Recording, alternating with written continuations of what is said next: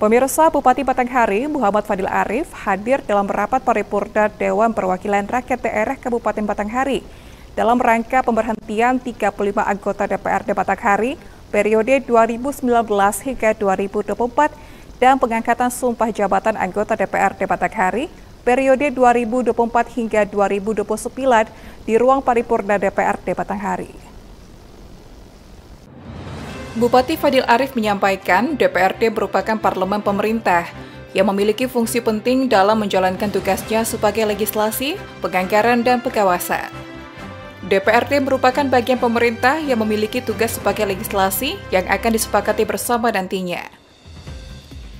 Fadil menjelaskan telah membuktikan bagaimana sejalannya DPRD Batanghari sehingga terciptanya pembangunan daerah yang baik, Ke depan berharap DPRD Batanghari periode 2024 hingga 2029 lebih bersinergi bersama pemerintah daerah untuk kemajuan pembangunan Batanghari.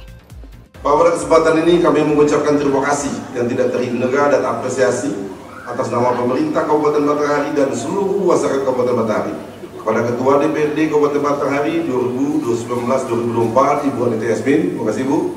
Apresiasi kami tidak terhingga kepada Bapak Muhammad Jafar. Terima kasih Pak Jafar. Semoga sukses selalu. Wakil Ketua DPRD Kabupaten Matahari periode 2019-2024 Bapak Mudin, terima kasih Bang. Fungsi DPRD adalah fungsi pembuat peraturan perundang-undang atau fungsi legislasi. Dan kami menyadari bahwa ini akan kita sepakati bersama nanti.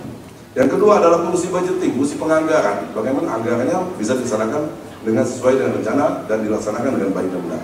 Yang ketiga adalah fungsi pengawasan. Bagaimana DPRD mengawasi pemerintah Kabupaten Matahari agar bekerja sesuai dengan jadwalnya. Selama ini kami dengan kawan-kawan anggota DPRD Kabupaten Matahari 2019-2024 sinergisitasnya berlangsung sangat baik. Memang baru dilantik dan baru duduk pertama kali sebagai anggota DPRD, kami harapkan dengan pembekalan yang baik, dengan bimbingan teknis yang baik nanti bisa cepat beradaptasi dengan tugas baru. Selain itu, Bupati Fadil berpesan agar Sekretaris DPRD Batanghari memfasilitasi DPRD terpilih yang baru menduduki kursinya dapat segera beradaptasi dengan tugasnya dengan pembekalan dan bimbingan teknis. Selamat Riyadi, JIK TV melaporkan.